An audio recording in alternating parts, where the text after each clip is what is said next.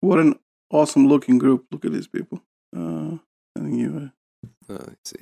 uh, Hale is in the picture as well. Oh my god.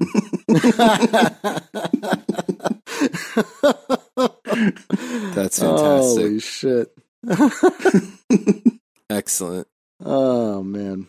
But it has also some kind of mark, so I guess we can't use it, unfortunately. That's amazing. See, they have a very impressive guard with berets, white berets. That's- Oh my god, look at that dude. Holy shit. We got to post these pictures. So wait, that's Matt Hale and and I don't know. He's two specimens of the white race. Amazing. yes. Holy shit. God, these people look like such stereotypes. It's it's, it's really funny. yeah. Um Good lord.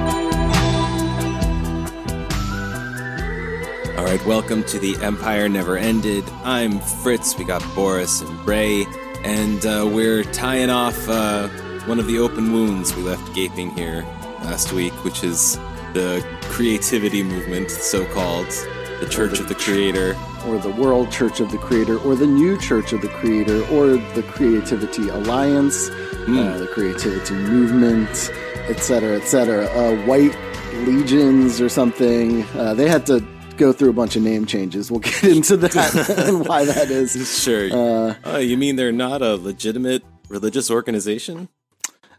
arguably, these How guys are kind you. of uniquely idiotic in Mm. in the world of American Nazis, which is you know. There's some strong contenders there, but these guys are really. They are the there. winners of this arc. At least to me, uh, I don't know. I don't know how you guys feel about it, but I mean, It's pretty low. It's some Yeah. pretty bottom of the barrel stuff. Yeah. yeah, it's painful. It's painful to read. Every part, every aspect of it is shitty. yes, that's true. That's true. Uh, right down to their role playing games. Oh, Oh, god, yeah. We'll have to mention that. Yeah, yeah. There's no way we're ever going to play that. It's too. No, it's- it's not unplayable. playable, but it's Yeah. definitely funny to talk about. Um, yeah, all right. So let's situate ourselves in, in time, though, uh, and also Yeah. we should probably pick a calendar, from what I hear. Yeah, so I don't know. I, I- guess I forgot to mention in the last episode, um, but since you know on this show we've dealt with numerous different um, calendars that have Uh-huh. their own year zeros, uh, the creativity movement, church, whatever the fuck, has its own. Um, and unlike some of the other ones we've talked about, it does not start on Hitler's birthday. Okay, Um, all right. that is not year Is it? zero. Let me. Is it more recent or uh, further back in time than Hitler's birthday? way more recent. Way more recent. Is it the? Is it the uh, the birth of Klassen? No, but that is a holiday in their church. Oh, okay, of Uh, course. Klassmas. Yeah, Where- a- where Santa they're not Claus even that creative. It's like just Klassen Day or whatever the fuck. Um, no. Uh, no. God. Is it guessable? uh, yeah, totally, totally. Is it okay? Is it? uh Is it all right? Can I ask? Is it like a famous death? Let's get that. that No. that is out of the way. Uh, no, just it does not Matthews. involve uh, any people living or dead. God, what could it be? This is it. The uh, end of the Civil War. No, um, no. Ray, put And- something out here. Let me see. Well, wait. Boris said the way more recent than Hitler's birth, or what? Oh yeah, right. Yes. That's right. Yeah, yeah, yeah. So Yeah, right. Shit. Uh, is it the the opening night of Birth of the Nation? no, uh, hmm, it's 9-11. uh, no, but they did celebrate 9-11. Okay. Um, okay, I give up. I give up. it is the founding of the church. It's very Oh, Yeah. just not Bleh. creative. So year zero is 1973. Um, and Okay. everything before that is, I think, BC, like before creativity, and AC is after creativity, I think. So, uh, that's very confusing. yeah, it's it is it's very stupid too. Like I mean, they'll be like, and the white man Bibles, uh, white man's Bible came out in eight AC. Ah, like okay, woof. So they're So- almost uh fifty. yeah, Um, yeah, they did some stuff for the 40th birthday. Um, because they didn't think they'd make it to 50. Got to do this now, guys. I'm not sure that they really did even make it. Well, I mean, we'll see. So let's let's let's do a little recap of where we left off last Okay, time. great. So Yeah. last week we left off with um, their first martyrdom. Uh, that genius Brian Kozel, their security guy, the white Right. beret, who was shot in Milwaukee for kicking people's cars while he was Yes. distributing flyers. Um, glorious, the glorious Aryan fighter he was. Yeah, absolutely. In um in their history though, uh the reason that he's a martyr is that he was apparently quote unquote murdered by Mexicans for I guess doing nothing. Uh which is, you know, For being white. yes, for being a, a proud white man. Right. Uh so that, you know, that is is their martyrs day that's their first martyr so again off to a bad start there with a complete idiot being your martyr but you know that's kind of how they roll Yes. so uh, the next major event that we ended the last episode with was um, the Florida Reverend George Loeb uh, shooting and killing a black sailor um, uh, by the name of uh, Harold Mansfield. And this caused a lot of problems for them. I mean, Klassen kind of saw the writing on the wall. He knew that there was going to be legal action. Uh, so the same year, that was 1991, um, the church loses its tax exempt status for the first time. Um, Right. Which is like half the point of having a church in the first place. yeah, exactly. Um, so of course, Klassen knew that the writing was on the wall that there would be legal action. Um, his wife had died of cancer, uh, which isn't a real thing to him. It's like a Jewish plot, whatever. Ah, so she was Uh, 'cause He doesn't assassinated. believe in medicine, uh, but then he too gets cancer and uh, sells his property off to William Luther Pierce of the National Alliance. Um, now, according to some of their sources, uh, some of that money, some of the profit from selling the property to William Luther Pierce was used as seed money for Resistance Records, which is Mhm. like very important, of course, for the World Church of the Creator or the creativity movement or whatever, because it's basically a religion that's centered in the like white power music scene. That's where it's like most prominent. Um, and where it would grow the most in the coming years. So, um, Well, also important later for William Pierce himself, of course, who later bought it and then made tons and tons and tons of money from it. Right, right. I Yeah. mean, who didn't like the music and thought the scene was No. garbage, but made a shit Yes. ton of money off of it. Yes. Um, yeah, yeah, lovely people. Uh, so then, of course, Klassen offs himself in 1993, taking the hero's way out, I guess, uh, um, according to them. He ate a bunch of sleeping pills and killed himself. Um, Klassen's death then starts a confusing set of succession issues and spin-offs and blah blah blah. I mean, even before he killed himself, he had appointed another Pontifex Maximus, um, who didn't last very long, like six months or something like that, before he was replaced by another Pontifex Maximus, who would then be replaced by yet another one after Klassen's death. So they were having some furor issues, Yeah. as tends to happen in, in these groups. We, you know, this isn't Too many Pontifex Maximi in the kitchen. I was going to ask: Is it is it Maximi? Maximus's? I. Yeah. I have this. Uh, I have this like hilarious image in my head when I'm reading their shit because they try to use Latin as much as possible. Of, course. we know that Klassen like wanted to model his new Reich uh, or whatever off of the Roman Empire, and everybody should learn Latin because that can be like a universal white language that white people can use to communicate with each other. But I'm just like imagining all these like Nazi boneheads like trying to like study Latin declensions in a room together and just like Yes. not getting it, you know, just being like, "Fuck what? God damn it!" Like, uh, I guess we have to use Latin. didn't didn't pay attention in Latin class. Um, so the kind of official church went down to this Pontifex Maximus in Florida. Um, but in the meantime, something kind of more important happened, which is that um, the Reverend from Canada, Eric Hawthorne, aka George Burdi, Bird Eye, um, Yep. whatever the fuck. Um, we talked about quite a bit. The lead singer of the band Rahowa, which, as we know, is also like the call to arms for the creativity movement or whatever, racial holy war. Um, he joins up with one of the former Pontifex Maximi uh, in Detroit through Resistance Records and starts promoting, actively promoting uh, creativity shit in the white power music scene. So even though Bird Eye himself wasn't ever a Pontifex Maximus, he was probably more important to Mhm. that movement than any of like the many um pontify they would have. You're trying to quantify their pontify, but yeah. Gray Eminence Burdi is pulling the strings, huh? He's Yeah. the real power behind the throne. Yeah. So this is all kind of early to mid 90s. Um, I'm skipping over some shit because it's really not important. There, there's a lot of infighting.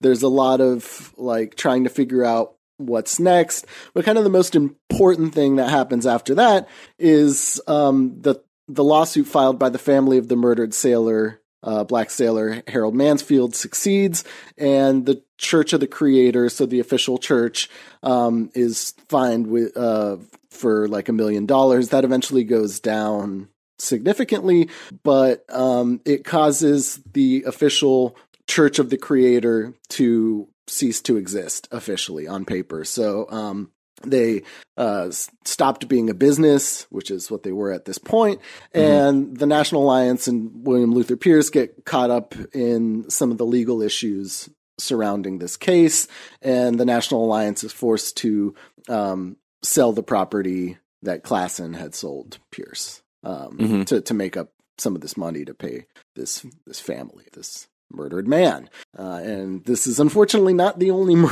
murder in controversy Yeah. um, that these shit idiots have. Uh, so I guess now we have to idiot, introduce shit idiot. Uh, Uh-huh. sh- sh- is that Latin? yes, that is that is Latin. Uh, um, but probably the biggest shit idiot, most important shit idiot for for this movement at this time is um, young Matthew Hale. Oh. Um, Matt Hale is probably the most important figure in the creativity movement uh, after Klassen, um, and next to Bird Eye, maybe. But he, you know, he becomes like in a a real Pontifex Maximus. Um, at this time, so in 1996, he is a 24 year old law student um, from Fresh Illinois. faced Buttigieg type, you know? Oh yeah, absolutely. And one of the whiniest motherfuckers, just like damn. really insufferable to watch. It's When people see Matt Hale, they will always see an advocate for white people. Because they want you and white people to start hating the forefathers and dishonoring the forefathers of this country. That's why. It's as simple as that. Uh, I mean, it's it's truly a travesty that you want to point the finger at me and my church when my church has committed what five crimes I think I'm allergic to him. you know, it's funny. Uh, I get hives. he gets uh he got into some fights later with some of the other uh bigwigs in the creativity movement, and so they write about him pretty disparagingly now, and it's funny to see that because the, when when they recount like him coming to power, they're like he was living in his dad's basement, like you know, basically like he's a like fail some loser, which you know he is. So Yeah. um, you know, he had previously uh, had his own little like white power party uh, that didn't go anywhere and failed. So he started his own chapter um, of the creativity church that he called the New Church of the Creator initially, um, before renaming it to the World Church of the Creator, Ambitious. which is what most people know it as, because that was kind of kind of their height, I think. Uh, it's when they spread the most in like the late '90s and, and early 2000s. But they would get into Hale himself would have his own legal issues. Uh, for being like a racist dickhead, and uh, and then the church itself would also uh, go through some pretty intense legal problems. So since you know I'm not super into like courtroom bullshit. Yeah. Um, I, I, I think maybe we can spare the listener uh, some of the details of the issues that they faced. But basically, Matt Matt Hale uh, was barred from practicing law in the state of Illinois because he was like outwardly racist yeah, for um, advocating race war. for advocating race war. Um, and as a budding young lawyer, he decided to contest this. Um, and uh, famously was actually defended by Glenn Greenwald. Um, Mhm. when he, you know, when he was trying to make this argument that he shouldn't be disbarred for, you know, not wanting black people in the courtroom or whatever Yeah. the fuck it was. yeah, I mean, all of that would probably be fine. Um, like, you know, there's plenty of racist lawyers out there. They just are smart enough, I guess, to Well, they keep it on the DL. you Yeah, know, like- he did not do this. Um, No. But you know, it attracted considerable attention. Um, it he uh, the judge initially ruled in his favor, but then he lost out on appeal later. Um, this is again like the late like 1999. Um, but within the church itself, Hale's leadership, like although it was like blossoming and like the movement was doing pretty well in the white power music scene, um, Hale did the classic cons- consolidation of power purge. Uh, so like in 1998, he kicked out a bunch of the like OG uh, creators um, or whatever, uh, and like in in in the split off groups, they say that they yes he kicked them out, but they also didn't like him because uh, you know he was a dickhead and he married a 16 year old girl, um, Uh-huh. and they like objected to that, which I kind of don't really think is true. I think that's Uh-huh. them like covering their tracks later because you know nobody likes an infight. Yeah. Um, but 1999 would also be kind of a decisive year for them in other ways. So I mean, a bunch of the split off guys kind of um, focused their energies on a particular reverend in Florida. Uh, his name isn't super important, so yeah, no need to know that because fuck these people. Um, but then, of course, and especially fuck these people comes in 1999 uh, with the famous uh, spree killing perpetrated by um, a follower of the World Church of the Creator, Benjamin Nathan- Nathaniel Smith, who um, went on like a several day multi state shooting spree uh, in which he killed two people and himself, but injured 10 or more people. Uh, he started by like opening fire on a group of like Orthodox Jews in Chicago, um, wounding several of them. Uh, then shot a like a black man in front of his family, uh, who was a former uh, basketball coach for Northwestern University. Um, before going yet to another state to shoot uh, like a Korean graduate student on his way to church um, before getting into like a high speed chase and eventually killing himself. Uh, so the only good thing he did there was off Mhm. himself. Um, but this, again, as these things tend to do, uh, brought a lot of negative attention to the church. Um, I mean, he had been pretty active. He was a young guy, like I think he was 21 at the time of the shooting spree, but you know, typical kind of like dropped out of college because he was like too racist and thought like everything was run by commies, and then you know was known to like distribute World Church of the Creator literature in like his hometown, and was you know one of these activists of theirs, um, and decided to take Rahowa into his own hands by his own admission. That's what he thought he was doing. Uh, and that is what I mean. That's what they want. You know what I mean. Um, but of course, uh, this would cause a lot of trouble for Matt Hale uh, and for the church. And this is where we get into a rather confusing legal case. Um, Is this the one over the name? yes, Is it Um, basically like the Unitarians defeated him, more or less? uh, There was this church, right? That's Yes. um, some some kind of Unitarian like uh, minor, very minor church, very minor uh, church called the had TE-TA-MA Truth Foundation. yeah, right, and also had the name uh, Church of the Church of Creator. the Creator. Yeah. Yeah. And so uh, they sued and won um, against Matt Hale, and he had to drop the name legally. Yeah, but this which caused which really shows, you know, this is like this is the religion of the of the of the racial holy war, and like a church of like six old hippies just wipes the floor with them and steals their name. Yeah, like yeah. they can't do shit about it, and they change the name. God, they're so bad at this. Right, but of course, um, you know, if if you read their literature, uh, they frame this all as that it was like the Tema TE-TA-MA Truth Foundation Church of the Creator is actually a front group for like the ADL and the Southern Poverty Law Center. Uh, Oh, that's, yeah. that's what they believe, Right. Um, and so they believe that this was like a big conspiracy to like, Of course. you know, rid the world of their very powerful church that wasn't doing stupid shit like having guys go on shooting sprees, um, or you know, Yeah, had to change right. their name before because one of their reverends murdered a person. Um, of course, that has nothing to do with it. It must be a, a Jewish plot because, of Right. course, this is the white man's religion, um, and you know. This God, is yeah, persecution by the state, and of course, whiny ass Oh, yeah. um, Hale. Hale had to like you know frame this as you know persecution against their religion. The fact Yes. that like uh, the court ordered against them that like you know they'd have to change um, the name, their name, and all of their literature was in fact like an attack on their faith, and that like the U.S. government was um, forcing them to like revise their Bible. Well, Um, yeah, I think they something like I read. Uh, they're literally forcing us to burn our holy texts. yes, That's what it was. Yeah.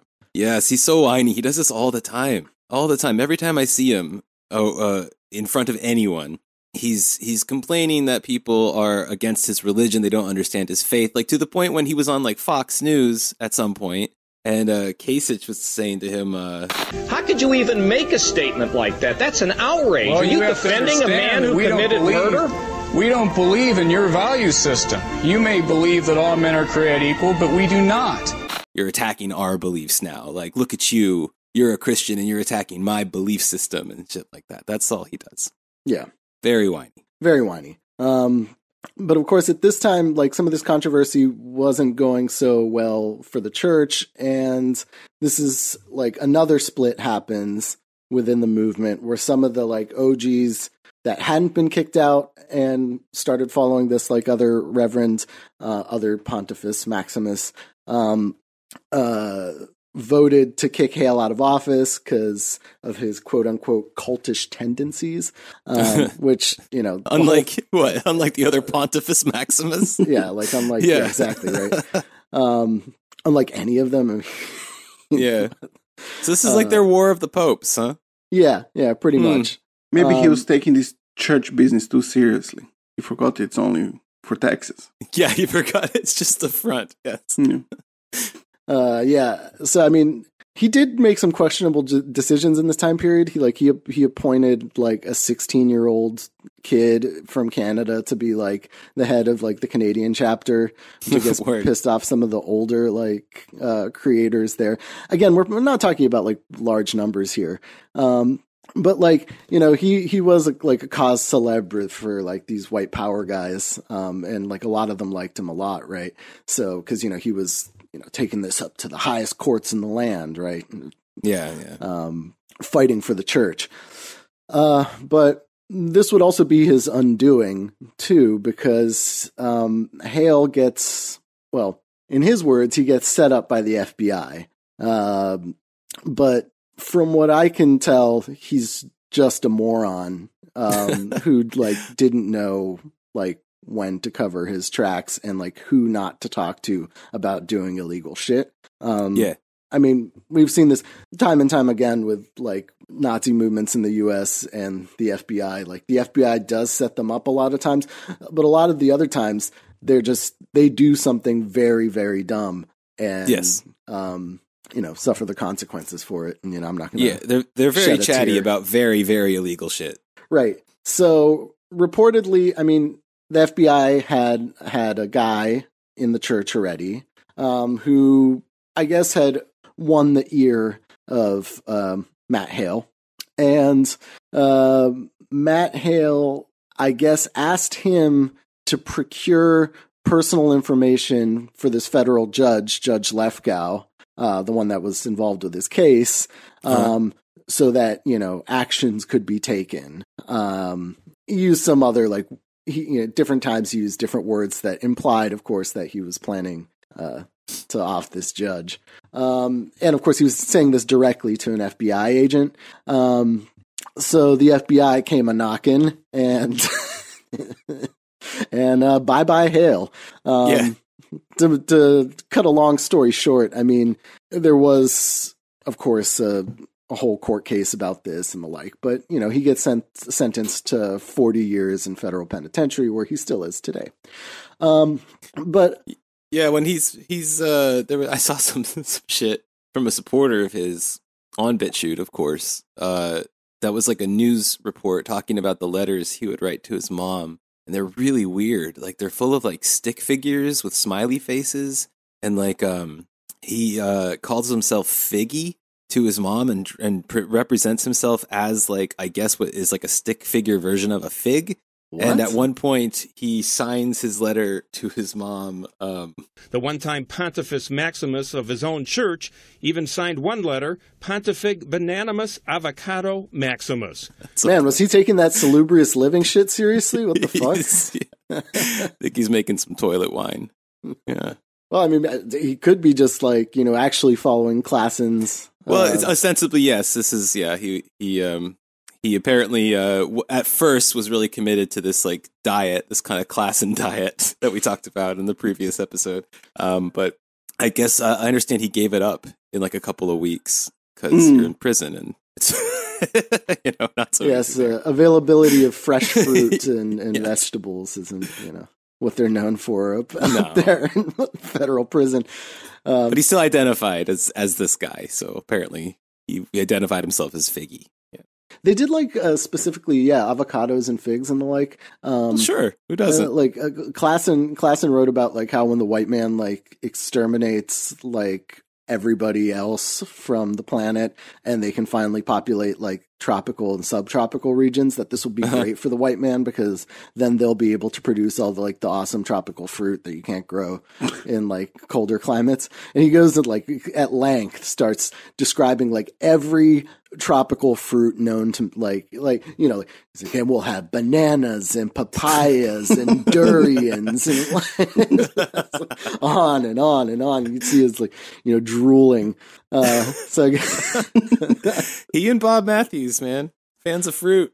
Well, no, Bob would have hated this, right? Because he was just Yeah. about the apple pie. he was about the apple pie Yeah, yeah, and and yeah. no, this is some this is some liberal hippie shit.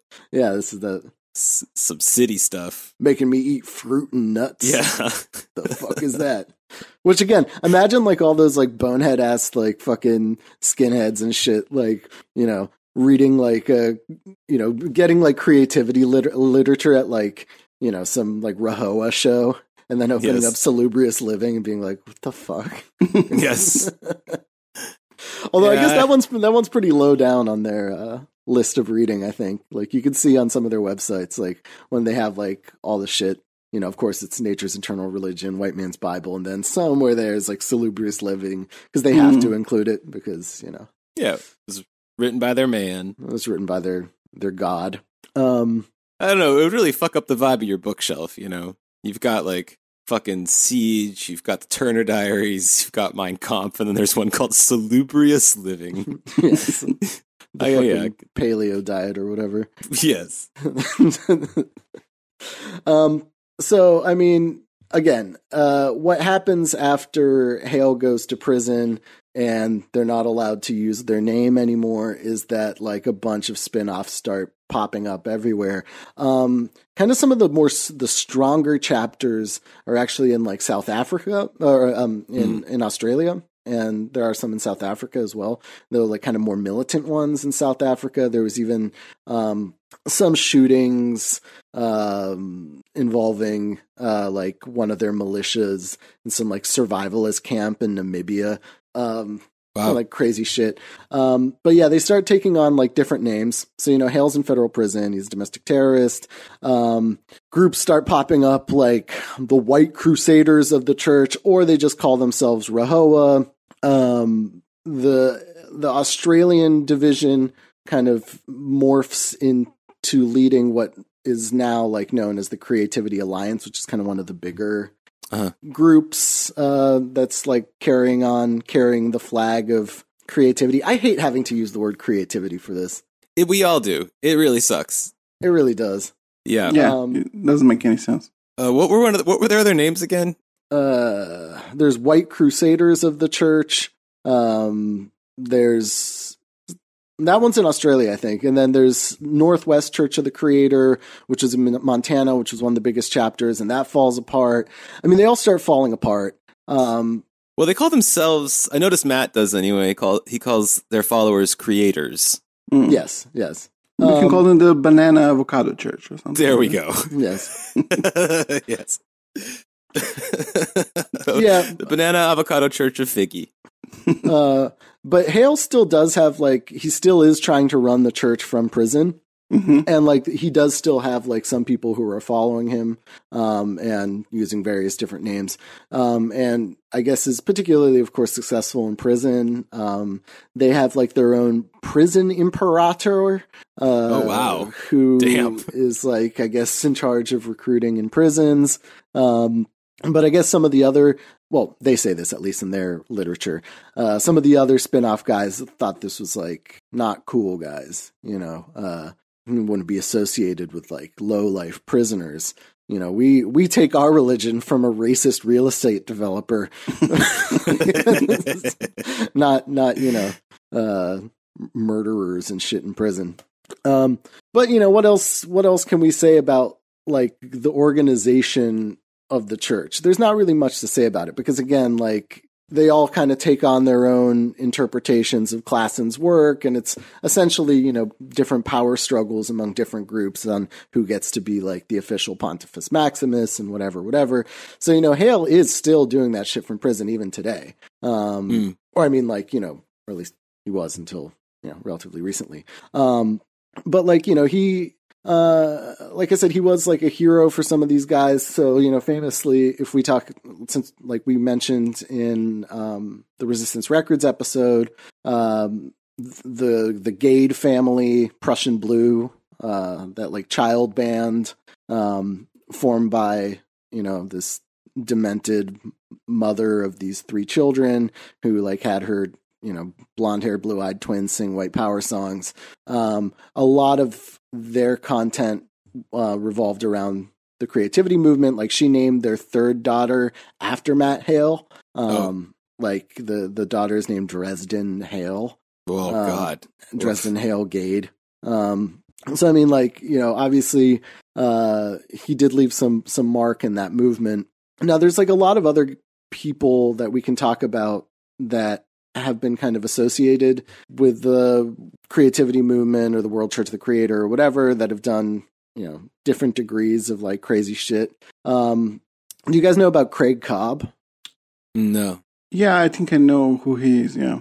Um, I mean, Craig Cobb was, I'd say, like you know, made some headlines relatively recently. By relatively recently, I mean in like the last decade.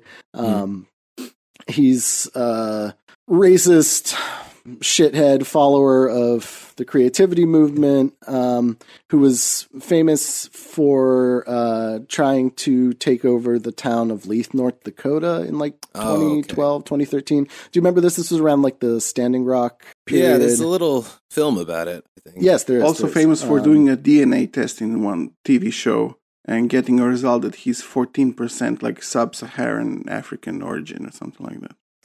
Whoops. Yeah. Yeah, but I think he, I think he chalked that up to Jewish lies, Mm. which is like Or what he they just always thought they do when meant- they can't explain it. Or he just thought he meant the boars. You know. yeah.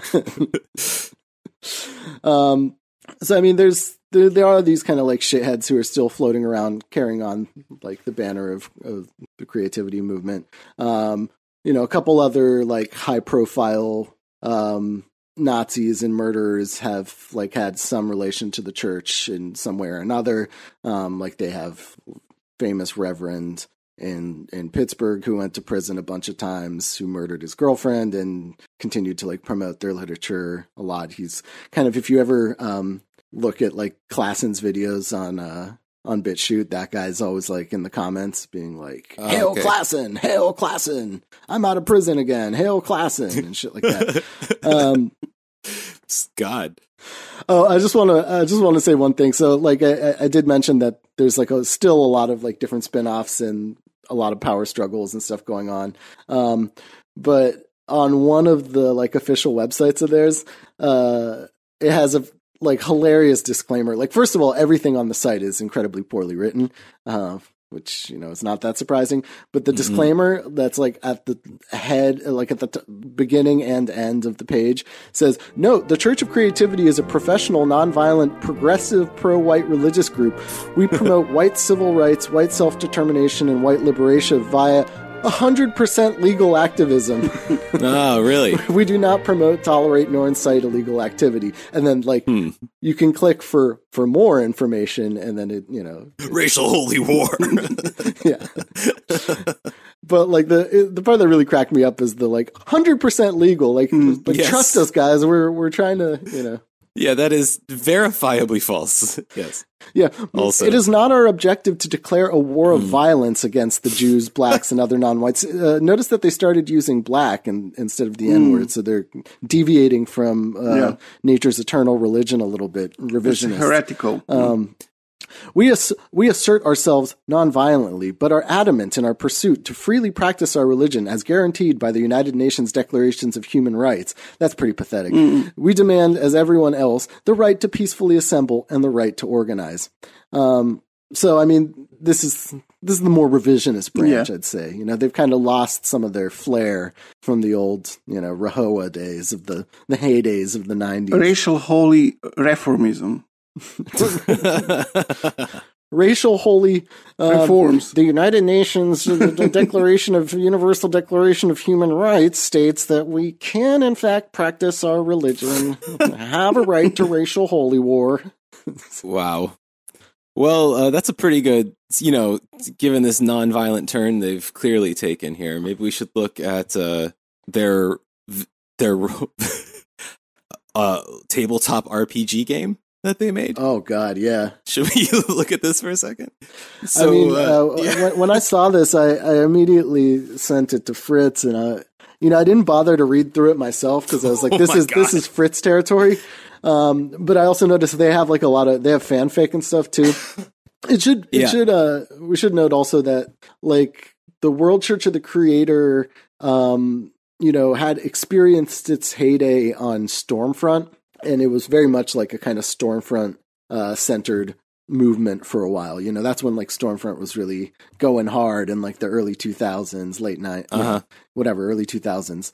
And um and so they they there is a considerable amount of fan produced content of theirs uh and some some of which they felt was good enough to post on their official website. One of these things is of course this game. Um yeah, Do you want to it's run got us strong. through Rahowa the game? Oh, good lord. Yeah, it, it really does have strong uh, Stormfront vibes. Like, there's a couple reasons why this game is unplayable, and one of them is that um, just like, I mean, okay, so they, they might not speak Latin, but they do use an incredible amount of racial slurs at every possible chance that they can.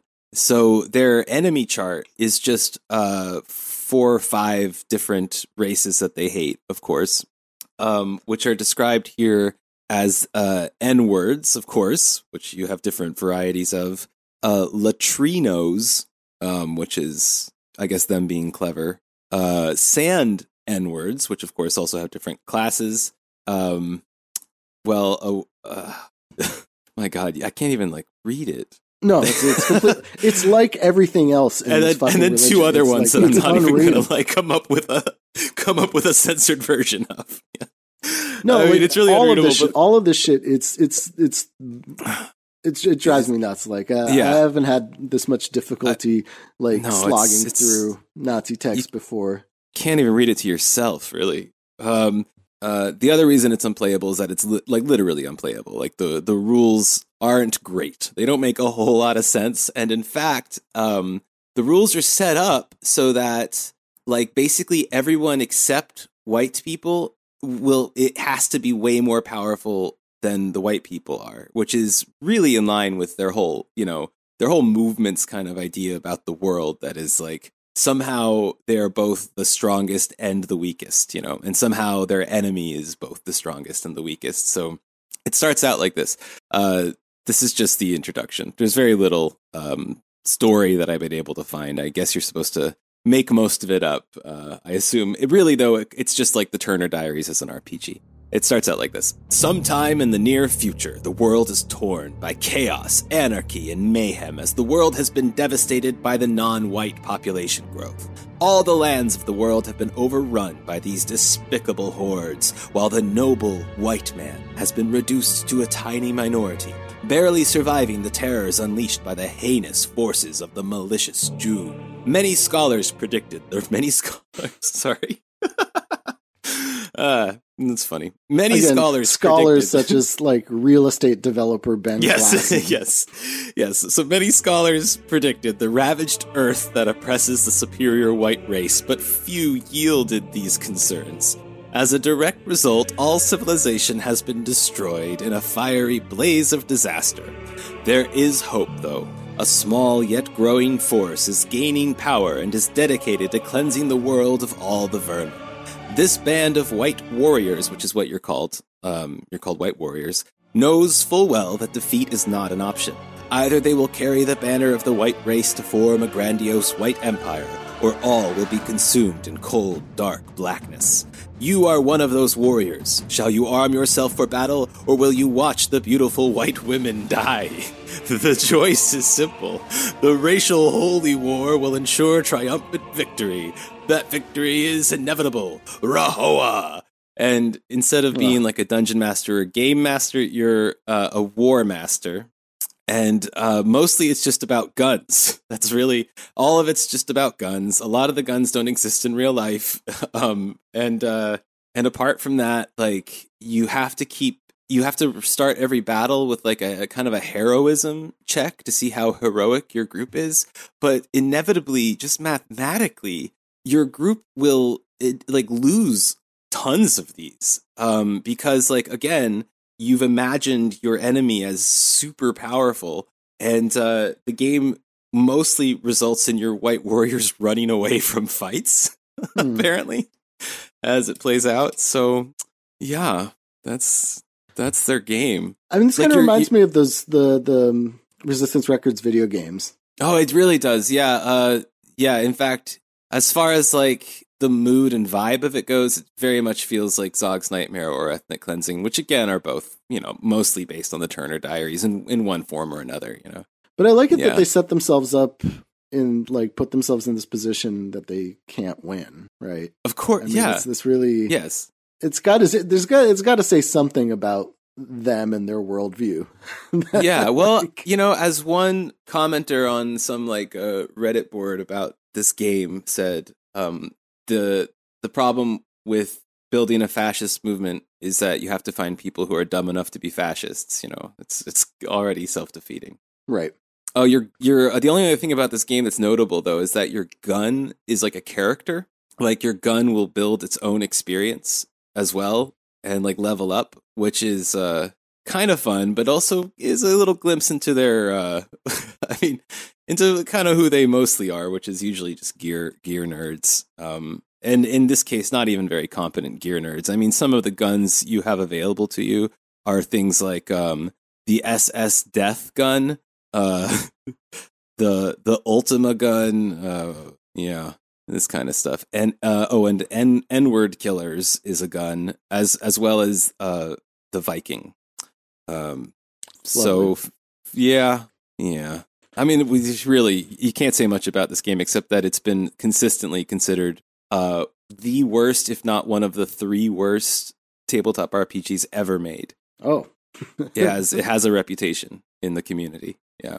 Interesting. So Yeah. yeah. no, not that far off from like Zog's Nightmare and the like. No, and it was written by this guy named uh, Reverend Kenneth Molyneux, who uh, Ah, right. was a prominent Christian, uh, not sorry, Christian identity, fucking uh, creativity movement blogger as well, and kind of Yeah, I, I have the feeling that he might be running a lot of their uh, the creativity creativity alliance's website because if you notice, um, a lot of his stuff is published on there, and if like the pont the current Pontifex Maximus um, of the Creativity Alliance is in prison. Um, and won't be getting out till like next year, and he's been in prison for quite some time.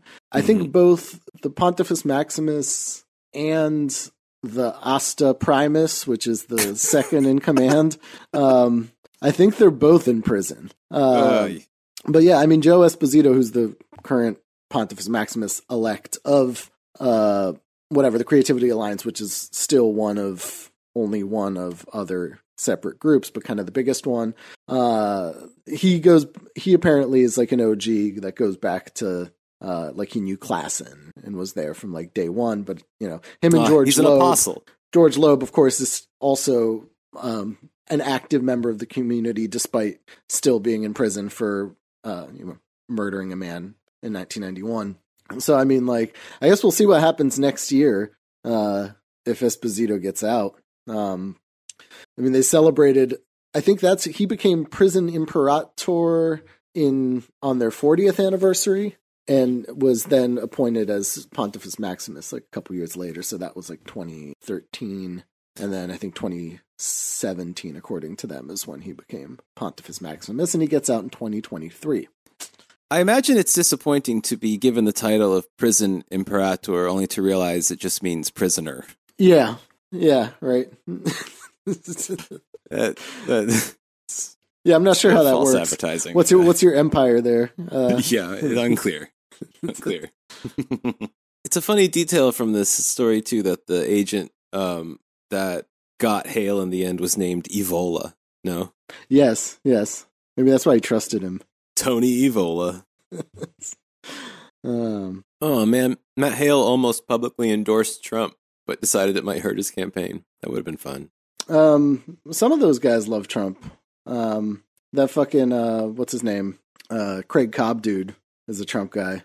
He like wanted to rename like some town in North Dakota Trump or Uh, so the current Pontifex Maximus, as I mentioned, is this guy, uh, Doctor Joe Esposito. I'm not sure what he's the doctor of, if anything.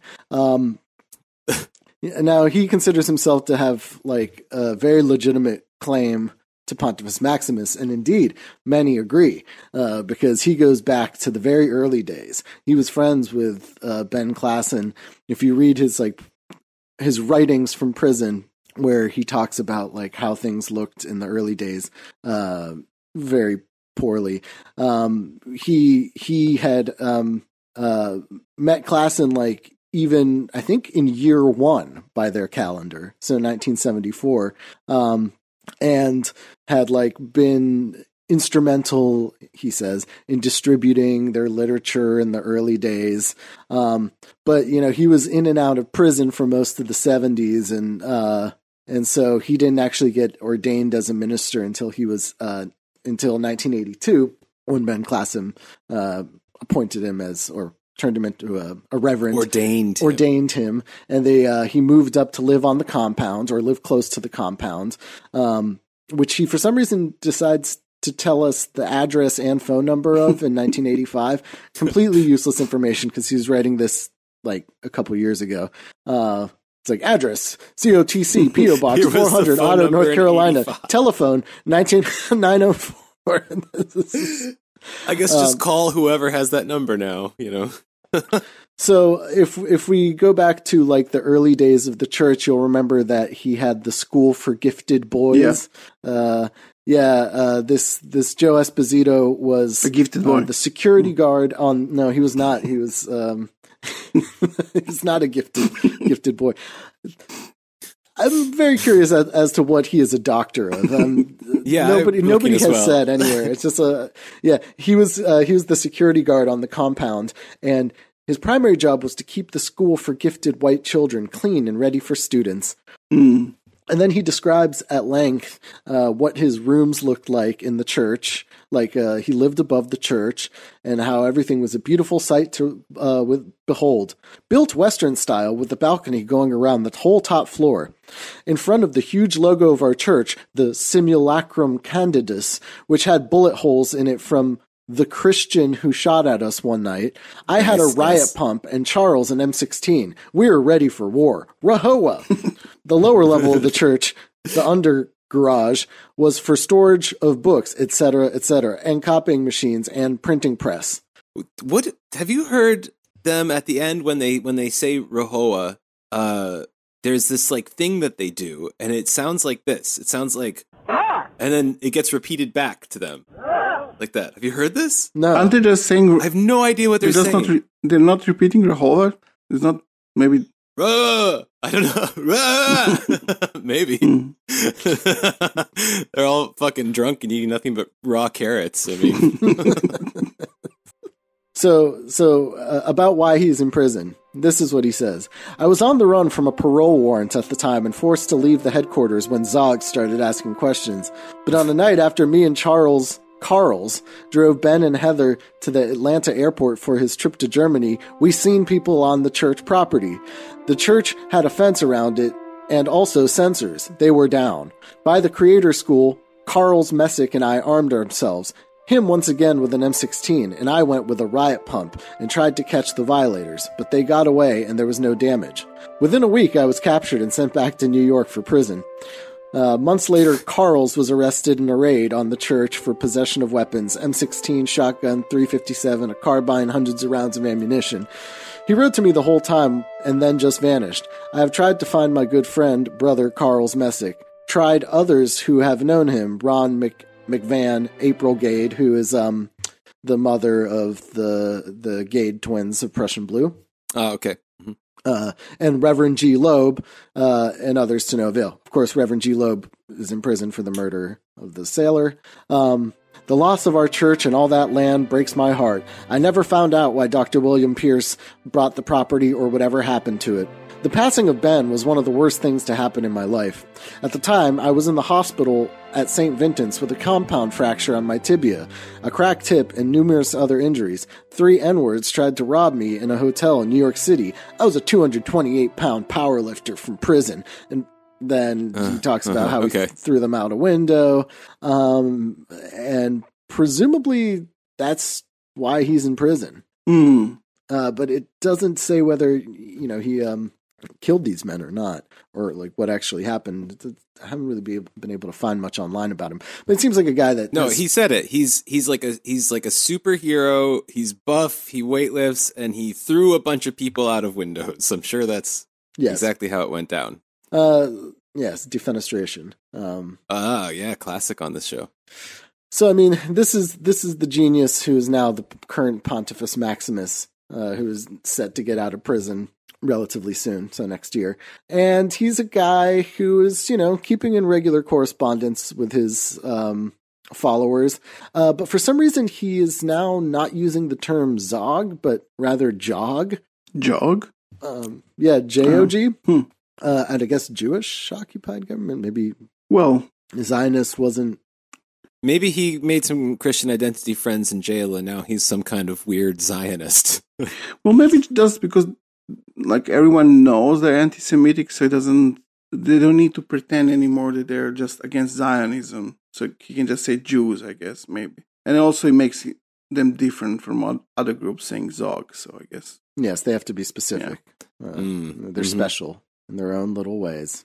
Yeah. Um, so yeah, I mean, he they published some of his letters from prison, um, and a lot of it's just what you'd expect. Uh, it's a lot of whining about how they're you know trying to um, suppress the white religion.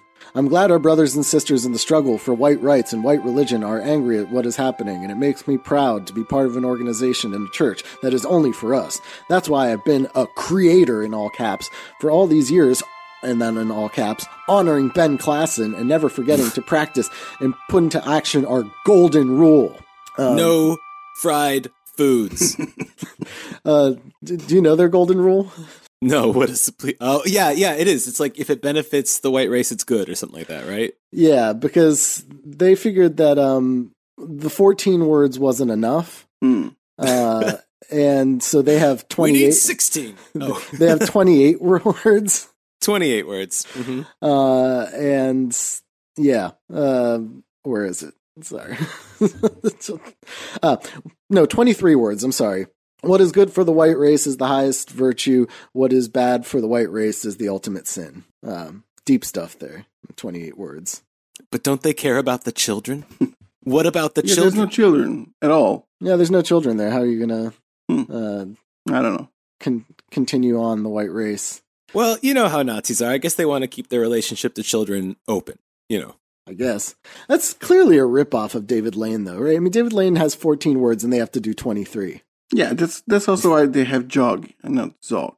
They're pricks. David Lane, David Lane, uh, David Lane respects them though. Uh, I Oh. guess he doesn't like that they're um, like a non-theistic religion. Hmm. Uh, but yeah, he he's got respect for them because they do the they fight because the they're man. racist and violent. Yes, because they're racist and violent. yeah. Oh, World God. Church of the Creator. What's not to love? It's nothing. There's A- nothing good. A church only a mother can love. yeah. Huh? Mhm. Shout out to Matt's mom, who is also really racist and crazy. Yeah. Um, yeah, the uh, they had like a whole women's thing too. I don't know. Um, after uh, A separate church for women. they didn't have For a separate, Matt's mom. Yeah. they, no, they had their own like um uh this was in the 90s so like post Klassen era uh they had their own like women's group hmm um which I guess was their it was called the Women's Frontier uh, and this is in 1998 it was led by um Lisa Turner who was their um women's information coordinator uh and yeah it's not too exciting they do advocate for like women also doing lone wolf stuff um, Oh. and like brought up yeah like the examples of like some heroic women uh, in history are uh, Katie Ain- uh, Kathy Ainsworth who was a um, female cl- Klanswoman uh, Klanswoman um, was involved in like bombing black churches uh, in in you know during the freedom struggle era uh, and then uh, in synagogues. She um, she bombed synagogues actually in, in Jewish people's houses uh, in the South, like Mississippi or something. And then other um, exemplary women are Eva Braun, Of course. because of course, uh, and Katja Lane. So David Lane's wife, um, who I mean, we didn't really talk too much about this. So she she married him when he was already in prison, Oh. and she's um, largely So responsible. she's for, good and nuts then. Yeah, yeah, yeah. No, she's largely responsible for like getting his work out and stuff like that from prison. Um, Okay. he's very active in the white power movement. Um, but then, of course, the ultimate uh, role of the white woman is to produce white babies. Yeah. Um, so you know, nothing, nothing groundbreaking there. But at least they like, you know, had a women's chapter, which some of these other groups didn't. But you know, I don't think. At least they allowed them to do terrorisms, you know? Yes, at least they mean, these guys are feminists. I bet they have been called that. I Oh, would I'm not be sure, surprised I'm at all. Yeah, in some in some fight, like Yes, one of these yeah. many like um infighting shit shows that they've had. Um, yeah, Well, what a horrible, stupid church.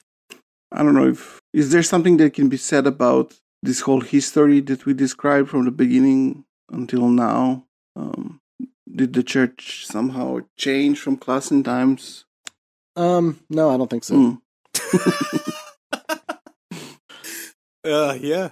I mean, these guys just they suck so much. It's like uh, they suck so bad. They're boring. You know.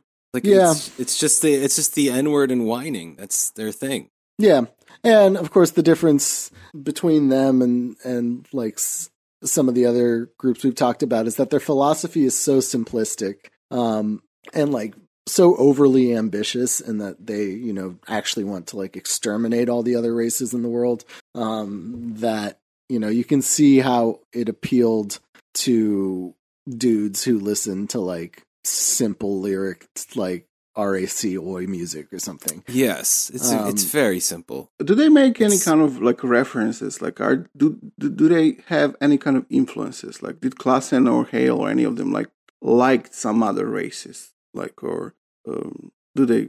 Yeah, I mean they like the National Alliance. No, but like Um, older ones, like, are they into like Nazi Nazis? Like they like Hitler? yeah, yeah, yeah, yeah, yeah, absolutely. Mm. Yeah, yeah.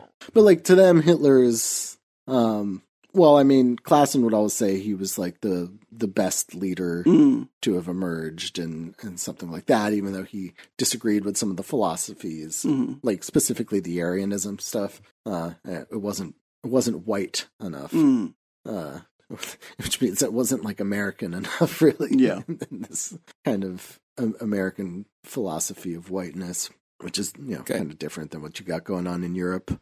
Um, you know, I mean, yeah, they again, their philosophy is is so basic. It's Yeah. there's not much really to it. Um, it's they consider themselves to be like scientists who like Yes. embrace logic and reason, and of course their logic and reason is that like nature doesn't like race mix, which is complete fucking nonsense. yes. yes. Um, yeah. And they, uh, yeah, and they dress it all up with Latin terms, uh, call themselves Imperator. You know, I just realized though, guys, is that we're like 93 episodes into this show here. And who would have thought that after all this time, fucking Charlie Sargent would be like the most normal person we ever talked about?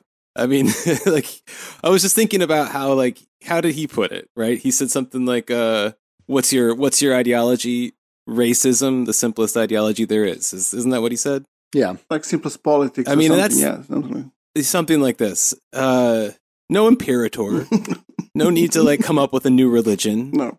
no need to be an occultist you know yeah. I mean, what I don't understand about them uh, is that like you know once they cease to have the benefits of being a religion, then why be that at all? I mean, Yeah, why it even call yourself? Why even try to like maintain that farce? I think just so you can whine i really think it's just so you can claim you're an oppressed religious minority I mean, I I, can't think, think at this reason. point that's all it is. Honestly, uh, I mean, you know, uh, there's there's nothing there's nothing to it. I mean, like nobody's. I really doubt anybody's actually reading these texts. Yeah. Yes. I mean, it's it's a very strange group because like their founder Klassen, he had some kind of like nerd ambitions, but he has no imagination at all. Like even like by Nazi standards, like he's just just nothing there. But he wants he wants to be a nerd. He wants to come up with his ideology and write books and has a have a church and theology. But he's just not capable of imagining anything. the- so I have I haven't seen like an expression as blank as his on a dog. You know, Mm. like you look into those eyes and there's nothing there, Mm. and he, he he does look like a beaver, which we know he admires.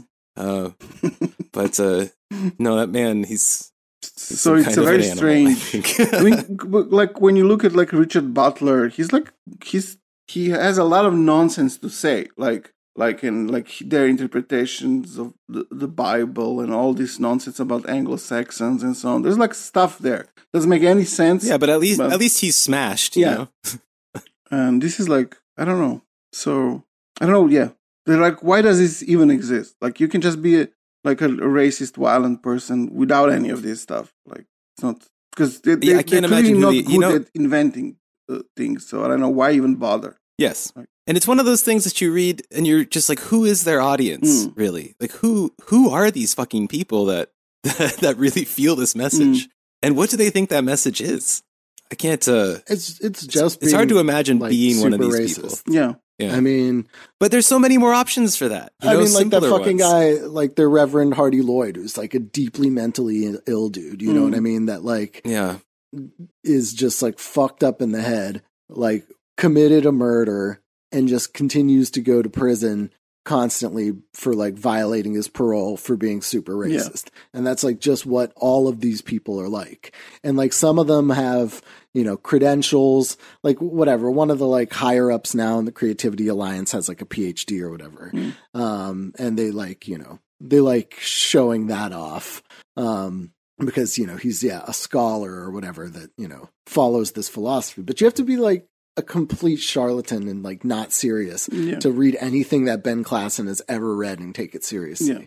Like I even went like I read through more of their um because I said like nature's nature's eternal religion is almost unreadable in in that it's like f- 400 pages and and just terrible. White Man's Bible fucking also garbage unreadable.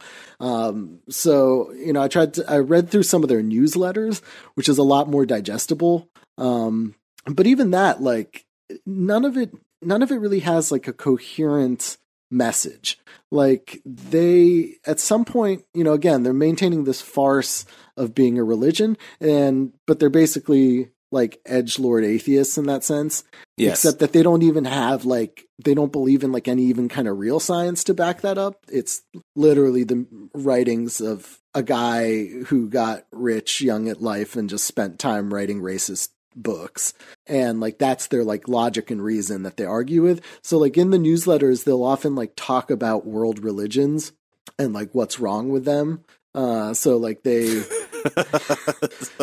uh they talk about like i don't know the catholic church. They have a they have a like a whole issue dedicated to like analyzing the catholic church versus creativity the orthodox church versus creat- creativity and like all this other stuff but there's like really nothing to it they don't make any kind of Yeah. compelling Yeah. arguments or, Like this church too like. Doesn't worship the white race, and like, yeah, yes that's the difference. Yeah, pretty much. And like, yeah, there's some like current current events like history stuff. Like when they talk about the Orthodox Church, uh, it's just written in like you know the 80s, and so it's like, of course, all those Orthodox countries are under the communists except for Greece, and you know. Um, but again, it all ultimately comes down to yes, that is a, like a Jewish Mm. plot. Christianity is like a you know alien religion to the white man, and so like any kind of philosophizing on those subjects is just it's boring because you know How do they not say. bore themselves? I don't know. Don't don't they dread? I mean, if you they look have at to these go and write the same article again for like forty years.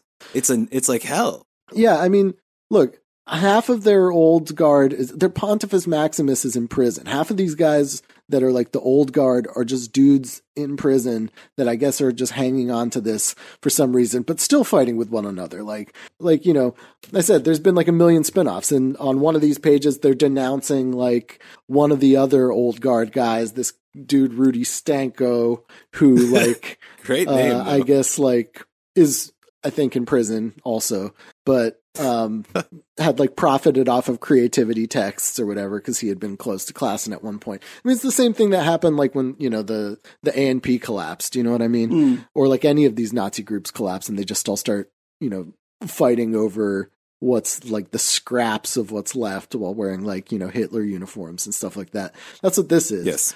basically, except that they call themselves reverends. you know what I mean?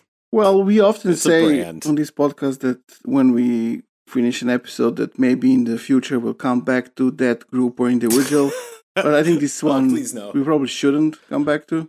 No, we'll never come back to. I mean, not not in any kind of meaningful way.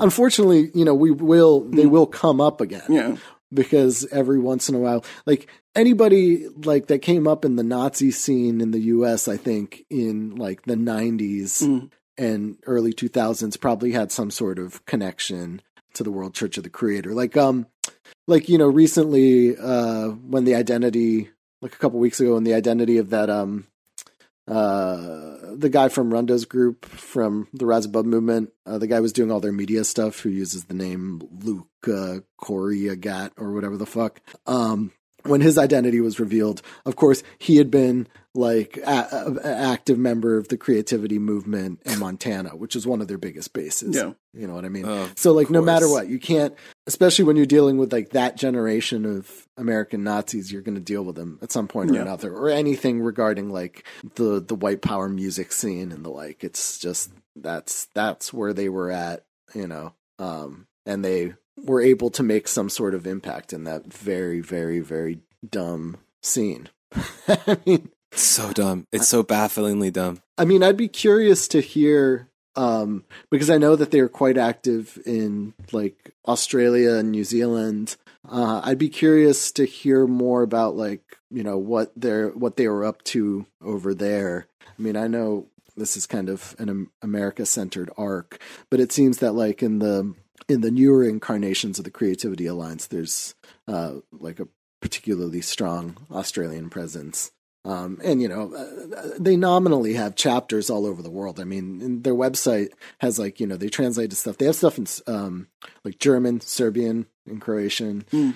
um, French, uh, Spanish. My guess is that those are all people from like the white power music scene, like Blood and Honor dudes and stuff like that. Um, but you know, you really have to wonder like what the appeal is to somebody in like Croatia or something. It's like ninety nine point nine nine percent white. Yeah, yeah. It's it's a, a religion based on like kind of trolling the First Amendment, sorta. Yeah, mean, and who does that appeal to like violence against like Yeah. non-white people, and yeah. So it's I, my guess is that yeah, it it'll continue to live on in some sort of edge lord, you know, blood and honor. Let's like play offensive Nazi music scenes, and that's about it. Because you know what the the these they're they have like 10 pontifi in various different prisons who are like going to get out at some point and then continue to do nothing with their lives. Mm. Uh, yeah, I mean, it's not going to fucking go anywhere. This is, it's, it's a definitely, to me, it seems like it's a now like a relic of a bygone era. Uh, like, you know, none of them, like, I, I my guess is that they're probably not like attracting any new members anytime soon because like what Nazis have moved on to now is like a lot more, you know, hip and stuff like that. They're doing like A you know, lot they like like yeah, Casa Pound and like let's let's be Vice News and fucking do banner drops and graffiti and like yeah, right. uh, appropriate like rap music because somehow that's okay now for them to do. uh, and like I think this kind of like creativity bullshit just I don't know. Uh, I don't I don't really see them continuing on in any meaningful way. Thankfully, Yeah. so hopefully these idiots will continue to fight each other and die out eventually. Well, that's that's, that's my analysis of it. I, on the other hand, uh, await a thousand pontify all over the earth. All right, let's let's uh let's let's leave this dumb dumb dumb fake religion. okay, Move on to to hopefully greener pastures. Well, yeah. Maybe What, what's next for us? Maybe some poetry, huh? well, Maybe some literature. yeah. I mean, we'll yes. Uh, this will be like a quite an uh, contrast, I think. yes, it will. Yeah, yeah. We're gonna get culture shock here. Yeah, we're going into Ezra Pound. Yeah, Oh yeah, yeah. That's very far away from this. yeah this. it's very different. Yes. yeah. Well, it's a big tent. Yeah. All right. See you guys later. All right. Bye.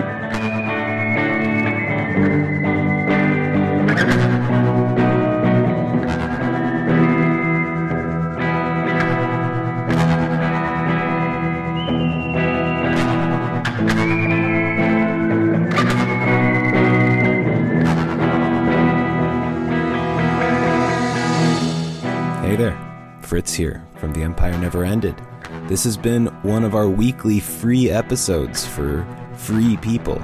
But for premium people, we also have weekly premium episodes, which you can get at patreon.com slash tenepod, T-E-N-E-P-O-D,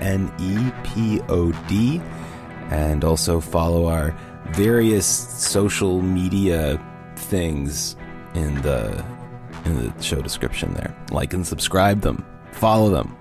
Like and sub- follow and subscribe. Follow them. Do it.